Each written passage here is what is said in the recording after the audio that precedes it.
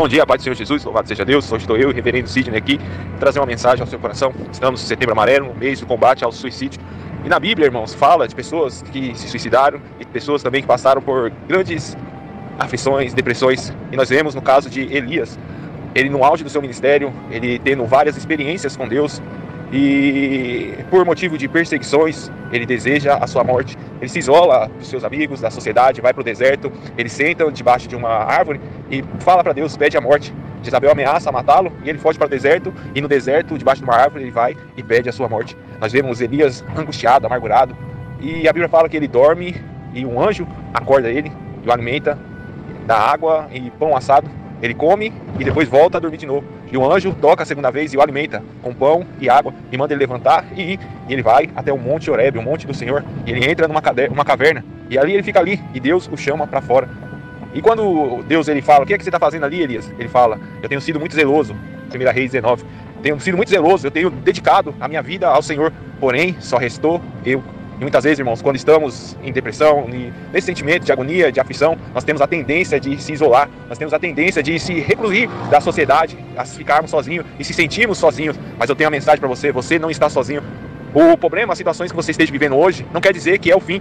Deus ele tinha um propósito ainda maior para Elias. Deus ia honrar a vida de Elias, o levando, o arrebatando, levando para si. Ele não experimentaria a morte. Ainda não era o fim de Elias. Deus ele ainda tinha um ministério para ele. Que Elias precisava? Elias precisava de descansar. Ele dormiu. Elias precisava se alimentar e Deus o alimentou. Elias precisava de ter uma visão e Deus falou: a sua obra ainda não terminou. Ainda tem um propósito para você. Vai, levanta e unge a dois reis e também a Eliseu, que eu tenho um propósito ainda na sua vida. Deus precisou falar com Elias, curar Elias.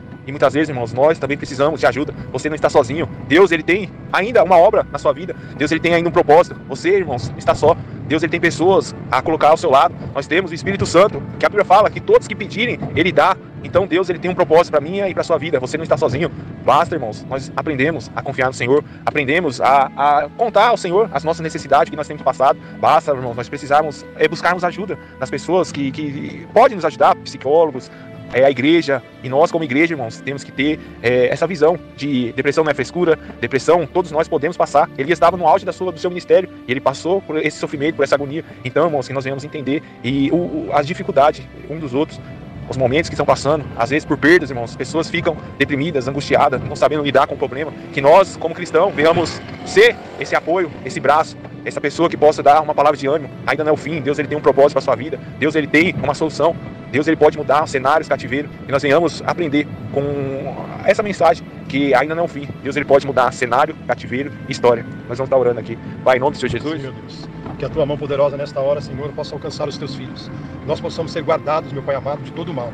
E se porventura, meu Deus amado, o Senhor permitir nós passarmos alguma adversidade nesta vida, Senhor, nesse mês que se comemora, Pai amado. Muitos estão voltados para o mês amarelo, setembro amarelo, onde reflete muito essa depressão, essa opressão maligna, que muitas das vezes afeta a carne porque começa na alma. Senhor, livra o teu povo, livra a tua igreja. E se porventura nós passarmos, passe conosco, ó Deus, nos dê a tua força, a tua graça, e que nós possamos estar com os nossos olhos abertos para sempre estar meditando na tua palavra. Nos ajuda a orar, a buscar a tua face, nos refugiar em ti, Senhor, e que nos momentos mais difíceis de nossas vidas possamos saber que o Senhor é o nosso juiz, o nosso advogado, e sempre julga as nossas causas. Não vem sobre nós não opressão maligna, meu Pai amado. E eu creio, Senhor, que nesta desse dia o Senhor está fazendo um milagre. Nesta hora o Senhor já está abrindo nossos olhos. Se há alguém em nosso meio, Pai amado, que vai ouvir essa mensagem, que o Senhor possa dar graça, que o Senhor possa dar força. E se estiver passando alguma adversidade, meu Deus, que o nome do Senhor seja glorificado na vida dela e que o Senhor venha libertar ele ou ela deste mal, Senhor. Em nome de Jesus, nós abençoamos a igreja mais e mais, a igreja abençoada. Mas nós, como ministro do Senhor, abençoamos a igreja, abençoamos família, casas, lares e que toda a perturbação do inferno caia por terra, Senhor, em nome de Jesus.